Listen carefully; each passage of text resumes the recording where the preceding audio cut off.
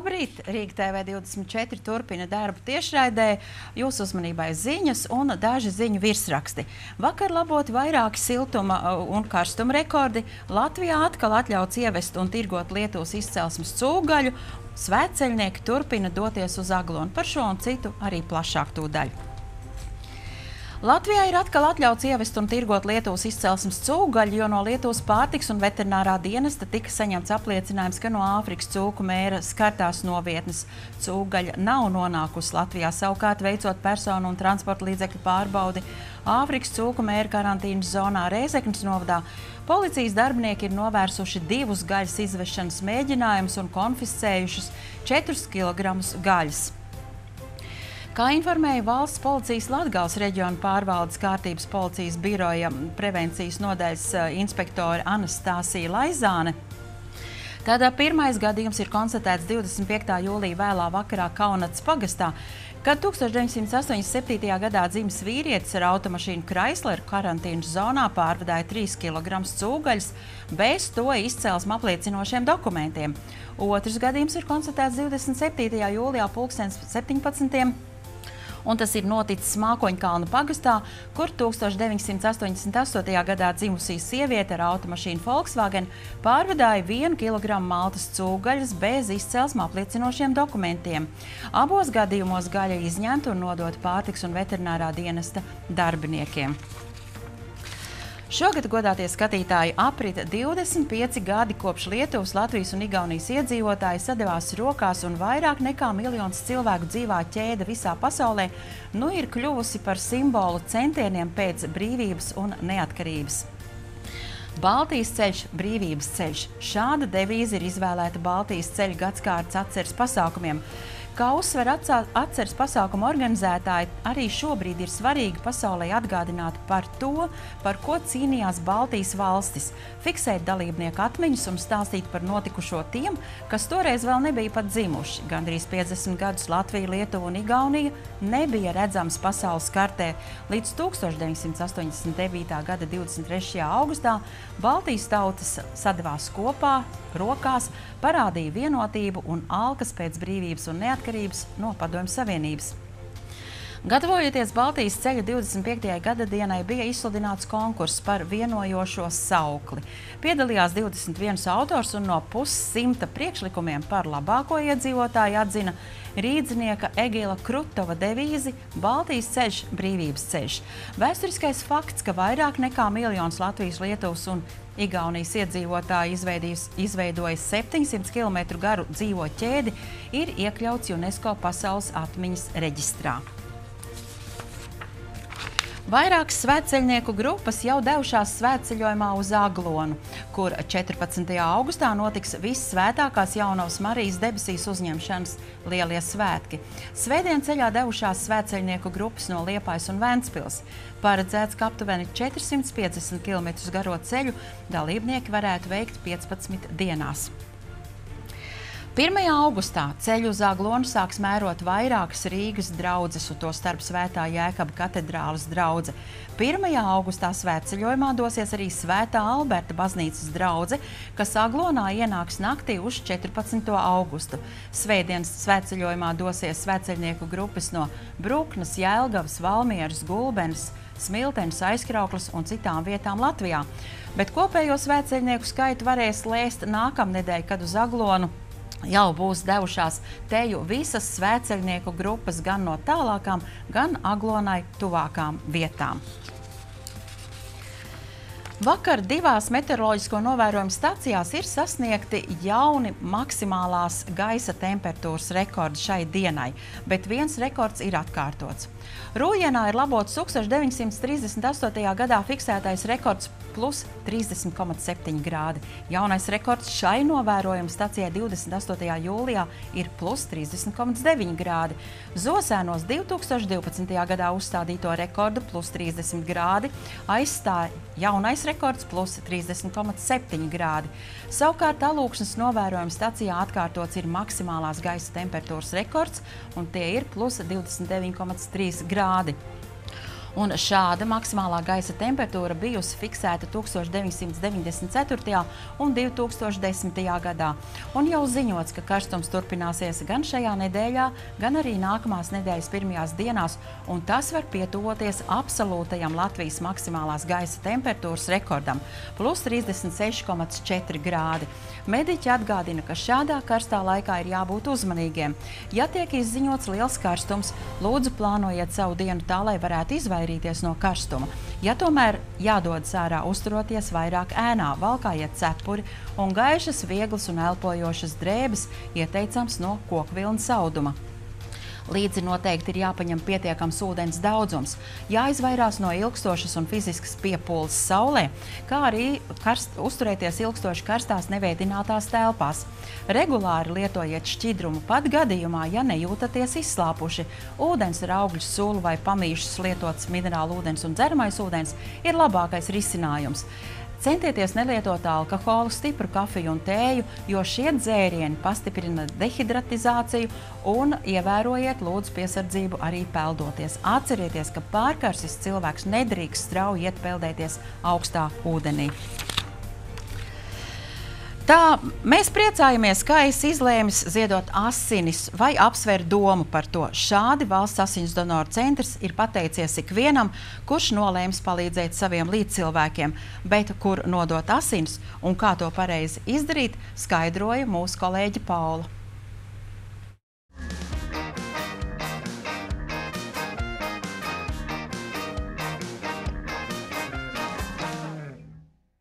Katrs rīznieks, noteikti jūs esat pamanījuši busiņu, kurš ir balta, sārtā krāsā. Un, nu, neviens viens cilvēks nekad domājis, kas tur iekšā atrodas un ko tur var izdarīt. Atnāk pie mums donors, izpild donoru kartiņu, pēc tam ar donoru kartiņu nāk uz laboratorijas daļu, kur nosaka asinsgrupu, reizus faktoru un hemoglobīnu. Pēc tam donors ar savu kartiņu ar noteiktām analīzēm dodas pie ārsta. Dakteris savāc dzīves anamnēzi. Vai drīkst tas cilvēks, tas donors, nodot asins? Ja viss ir kārtībā, pēc tam viņš nāk uz mūsu daļu. Te notiek asins nodošana. Nu, pirmkārt, cilvēkam jābūt tomēr veselam. Nu, cik maksimāli viņš var teikt par sevi, cik viņš ir vesels. Nedrīkst būt kroniskām saslimšanām. Nu, mums ir speciāla anketa, kur var donors visu to iepazīties ar šito visu.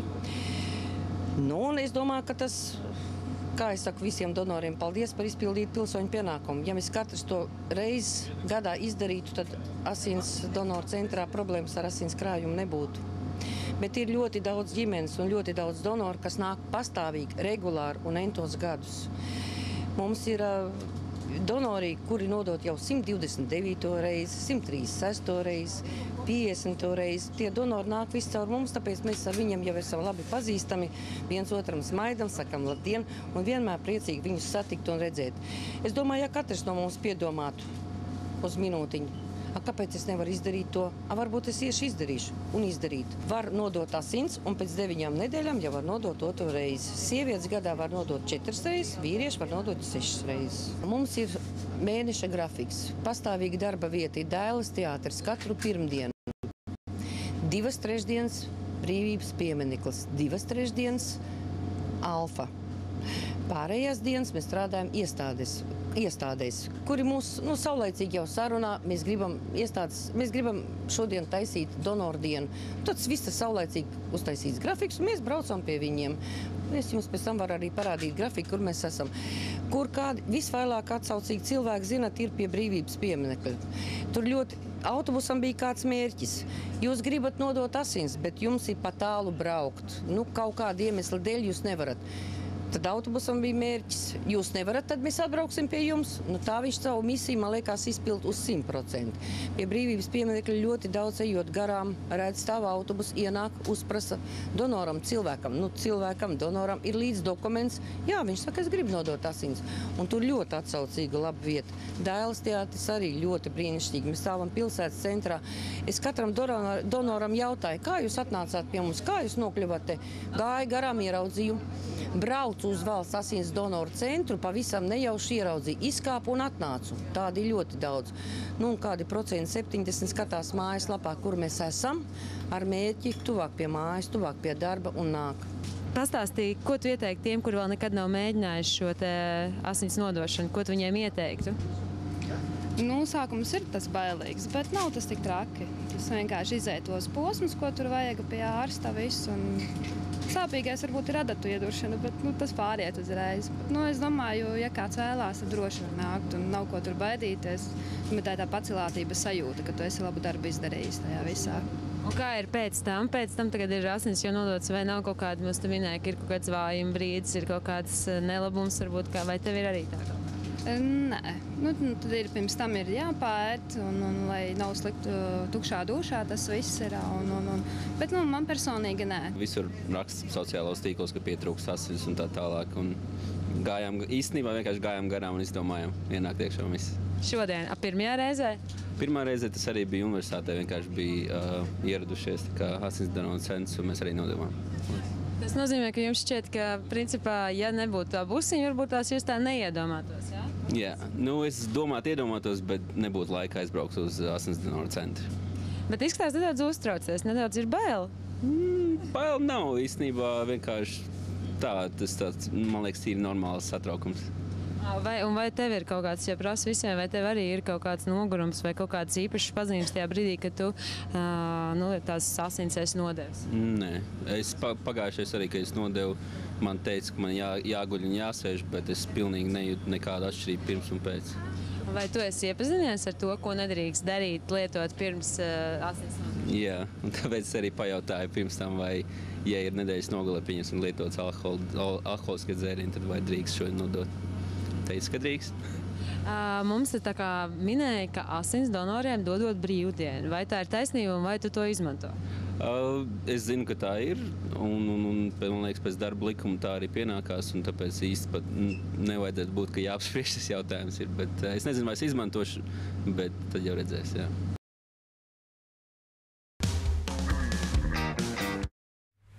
Bet mūsu ziņu programmā godātie skatītāji laiks sporta sadaļai. Gluži ne sporta, bet gan pasaulē.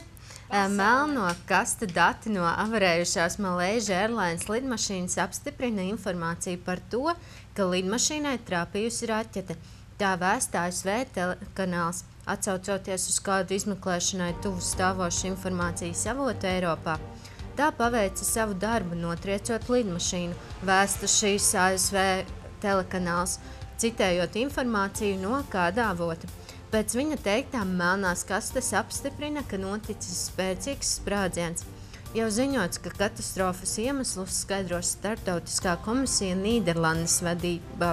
Tajā piedalīsies eksperti no 24 dažādām valstīm, tostarp arī no Ukrainas un Krievijas.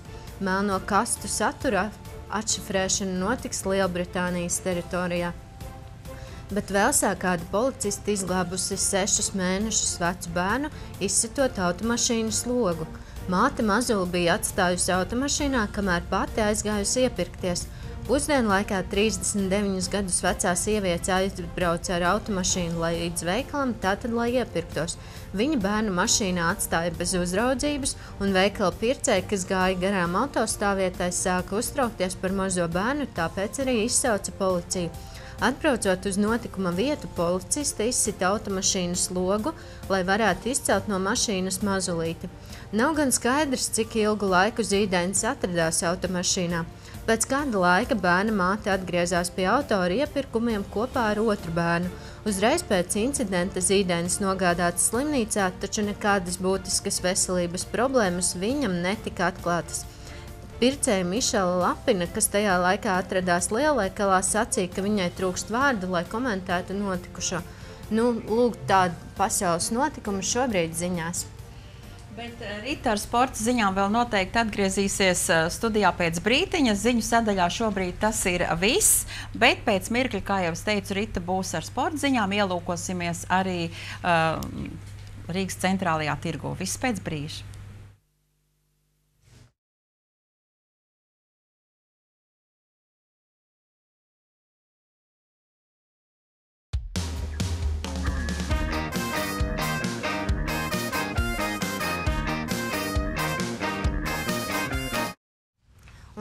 Turpināsim ar notikumiem sporta pasaulē. Šveices futbola komandas ārola Latvijas uzbrucējs Edgars Gauračs guvis krustenisko saišu traumu un nevarēs spēlēt aptuveni pusgadu. Svētdien notiekošajā spēlē, kurā Āro cīnījās neizšķirti viens pret viens ar bērnišu futbolistiem, Gauračs laukumā izgāja 75. minūtē, tomēr jau diemžēl īsu brīdi vēlāk pamanījās saraut kreisā ceļgala krusteniskās saites un menisku. Šī Gauračam bija vien otrā spēle Šveices čempionātā pēc pārējais no Jūrmalas Spartak komandas. Turklāt jau savā debijas spēlē viņš guva uzvaras vārtus. Kā zināms, tad Dārau komandā spēlē arī Latvijas aizsargs Nauris Bulvītis, kurš gan pašlaik ārstē deguna lūzumu. Savukārt Latvijas U-18 pušu basketbola izlase Turcijā notiekošā Eiropas čempionāta otrā posma otrajā mačā Šodien tiekas ar Horvātijas izlasi, kas līdz šim turnīrā vēl nav zaudējusi. Spēles sākums iecerēts pulksten 20.45 pēc Latvijas laika, un pirmajā posmā Latvija guva panākumus pret Poliju, Beļģiju, savukārt zaudēja Itālijas valsts vienībai. Šāda bilance ļāva ieņemt otro vietu A apakšgrupā un uz otro posmu paņemt līdzi vienu panākumu. Savukārt otrā posma pirmajā mačā latvieši pirmdien pēdējās sešās minūtēs atspēlēja gandrīz 20 punktu deficītu un ar 78 pret 76 pārspēja principālo pretinieci Lietuvu. Bet Latvijas uzbrucējs Lauris Bajarons nav izturējis pārbaudi kontinentālās hokeja līgas klubā Rīgas Dināmā. Pašlaik 25 gadus vecais Bajarons komandai uz pārbaudas laiku pievienojās 11. jūlijā, kad Dienāmo devās uz treniņu nometni Valmierā. Vienību uzbrucējs atstājas pēc sestdien notiekošās Dienāmo komandas savstarpējās pārbaudas spēles. Jāatgādina, ka Bajarons iepriekšējā sezonā spēlēja Čehijas spēcīgajā līgas komandā.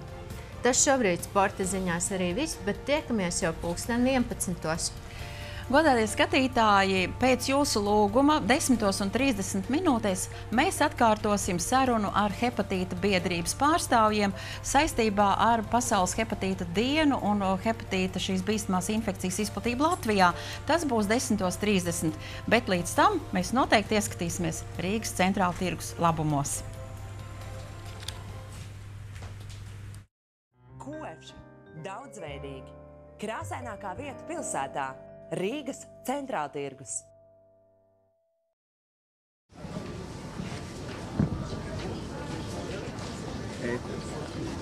Labdien, labdien! Rīga TV 24 skatītāji atrodamies Rīgas centrāla tirgu un ar jums tirgus ziņas. Šodien vēl joprojām turpinās karstā vasara, un es šodien atrodos šeit, lai uh, atrastu kādas garšīgas, garšīgas vasaras odziņas, uh, ķiršus, uh, mellenes, varbūt kaut ko vēl ko atradīšu ko pēc tam arī redzījumā labs ēdiens labiem draugiem. Pagatavosim gardā pankūku ogu tortē. Tepat man aizmugurē, ja nu kas var iegādāties, ja nu kādam nav par, par siltu, kādam vēl par vēsu, var iegādāties sadītas zeķes, bet nu zeķes šodien likšu mal, mierā. Es vairāk uz tiem augļiem nogām šodien esmu tendēts. Um, tātad Zemenes, starp citu, tirgū, protams, vēl joprojām ir, bet sāk jau palikt mazliet, mazliet mazāk viņas, jo, jo tagad ir visur ir ķirši, visur ir mellenes, visur ir upenes. Pieejams ļoti lielā vairumā. Tad ir Latvijas cirši, gan arī, gan arī čerešņa. Latvijas cirši pārsvarā no eiro līdz, līdz, līdz diviem eiro kilogramā. Upenes arī aptuveni no eiro līdz eiro 50 kg. No dažādām, dažādām saimniecībām, dažādām, Latvi, dažādiem Latvijas reģioniem. Tālāk, tātad tālāk ja pārējiem, Šeit es noteikti atgriezīšos, jo, kā jau teicu, man šodien uh, vajadzīgi ir uh, skābi, skābenie Latvijas ķirsīši, uh, melenes. Bet tālāk man pa kreisi atrodas gaļas paviljons, un arī tur es šodien dodos iepirkties, jo pagatavosim raidījumā arī garšīgu, vieglu tādu ēdienu, tītara kariju. Tad būs nedaudz tītara gaļas, ko tepat arī nopirkšu. Bet tas, tas, jau, tas jau vēlāk redzījumā labs ēdiens labiem draugiem. Ko mums vēl? Piedāvāt tirgus vēl joprojām ir vasara, ir daudz pupiņas, sviesta pupiņas, zirņi pieejami. Siesta pupiņu skatos 2 eiro kilogramā. Aptuveni tā arī viņas visur maksā. Ir smuki, smuki kabači šodien. Starp citu, man arī vajadzēs kabaci vienu. Īstenībā varētu arī uzreiz iegādāties, jo, ja jau es te esmu kā reiz piegājis, Sveiki, varētu lūdzu vienu kabaci? Tāds šis tās ļoti skaists. Un cik viņš maksā? 30 centi. Aha, 22 no jums. labi. Un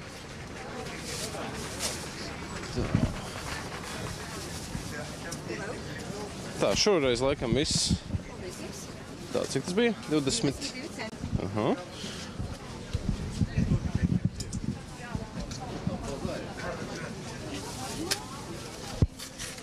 Kabacis 22 centi.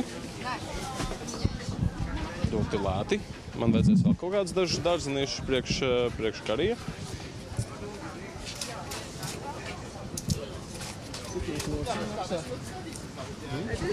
Kamēr, kamēr man uh, dāmas uh, meklē, meklē naudu, ko izdot, uh, varam arī paiet nedaudz tālāk, paskatīties, kas vēl mums ir pieejams nogām. Lielas paldies! Nu, redz, tā tad viena lieta man šodien ir. Kabats 22 centi. Protams, zinām, kabats lēt, lēta ieta- lieta. Uh, Tātad nogām vēl redzam ir ravenes, kā jau teicu, pieminēja zemenes. Zemenes tātad nedaudz, nedaudz jau dārgāk. Iepriekš bija varēja Latvijas zemenes pat eiro 50 kg, tagad jau aptuveni no 3, 3 līdz 4 eiro kg. Bet ir avenes, ļoti skaistas kazenes un vēl šis tas cits. Bet tagad, tagad man ir laiks jau doties uz gaļas paviljonu, jo jānopērk ir man tīters. Bet jūs skatītāji noteikti skatāties mūsu raidījumu labs ēdienas labiem draugiem. Pulkstens 12. dienā un arī 6. ā, vakarā Rīga TV 24 ēterā. Jo šodien tātad ā, būs ļoti īpaša diena. ā, Būs tortīte no pankūkām un Latvijas odzeļām. Kā arī, kā arī tītara gaļas karīs. Un tagad tātad dodos uz uh, uh, gaļas paviljonu, uh, meklēt, meklēt to tītaru gaļu. Um, cilvēku, kā vienmēr, ir ļoti daudz. Droši, droši ejam iekšā.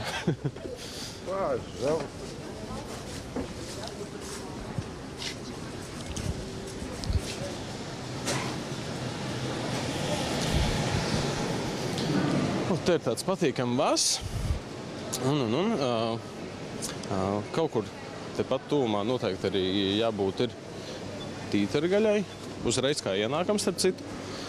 Izrādās, ka ļoti pieprasīta viņa ir liela rinda. Uh, cenas. Es šodien meklēju tītara šķiņķi. Viņš ir ar kauliņu, tātad cena 3 3,26 kg. Uh, bet uh, noteikti derētu šodien ēdienam, ko pagatavošu arī tītara filēja. Uh, tātad nu šodien neko daudz vēl neesmu nopircis, bet apskatījām, kas mums Rīgas centrālā tirgū ir pieejams. Es varbūt nestāvēšu ar jums skatītāju rindā, to izdarīšu vēlāk. Um, bet uh, redzu, ka izvēle ir diezgan liela. Arī, piemēram, no tītara gaļas, ā, tītara pusspārni, kur, no, kur sanāk tāds vesels cepets, ā, ļoti interesanta lieta. Bet šodien, šodien no tirgus ziņām viss. Ā, Atvados no jums skatītājiem, tiekamies redzījumā, labs ēdienas labiem draugiem. Tā tā.